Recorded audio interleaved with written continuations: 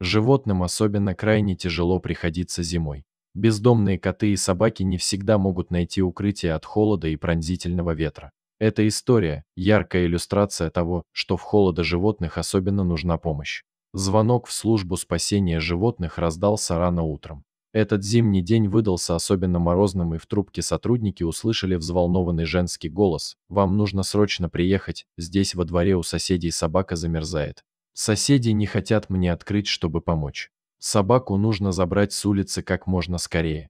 Волонтерам, приехавшим на место, открылась ужасающая картина. Собака лежала под дверями дома и умирала из-за холода. Сил у животного осталось лишь на то, чтобы тихо скулить. В морозы на улице собаку безжалостно на произвол судьбы оставили ее хозяева. Судя по царапинам на двери, животное изо всех сил пыталось попасть поближе к теплу. Люди к ее стараниям остались равнодушны и двери так и не открыли. Собака с трудом дышала. Лапы были отморожены и уже покрыты льдом. Волонтеры сразу начали отогревать животное. С людьми в доме была и вторая собака, здоровая и ухоженная.